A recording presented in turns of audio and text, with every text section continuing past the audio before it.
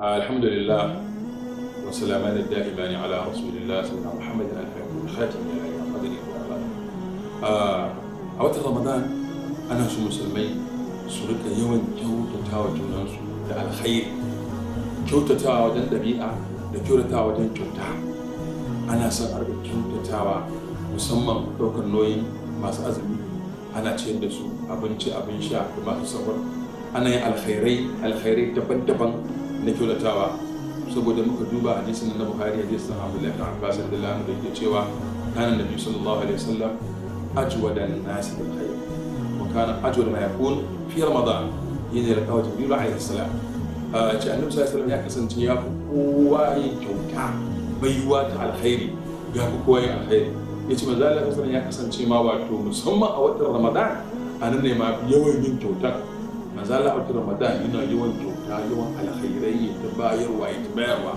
A gani? Musamman da yake a watan ramadan yake haɗuwa da malakar jibrilu da malakar jibrilu na zuwa gurin manzo Allah suna yin karatu alqur'ani a watan ramadan. Duk lokacin da ya zo ɗin nan manzo Allah murna da farin ciki ya ƙara kyauta ya ƙara kyauta. Haka manzo Allah dama shi mai koyarwa ne yana koyar da mu ne. So da an ci kuma riƙa koyi da manzo Allah sallallahu alaihi wasallam domin ma yana da kyau musamman masu kuɗin mu su daga kyautatawa talakawa suna yin alkhairai masu yawa. A ƙasashen laraba da dama za ka samu wani ya je wani masallaci ce to wani masallacin gashi na na ɗauki nauyin kawo abinci kullum abu kaza. Dabino ne biredi ne wani abinci ne abin sha ne da dai abubuwa da kowa da ya ga dama da ɗaukar kuma ana ta kawowa.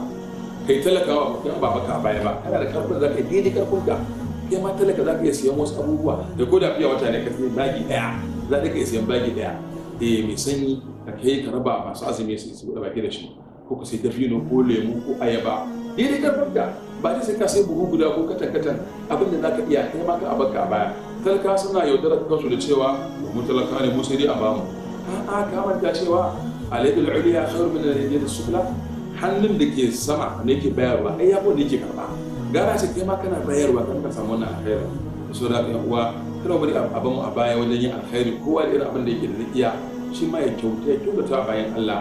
Allah ya samu da Allah alaihi wasallam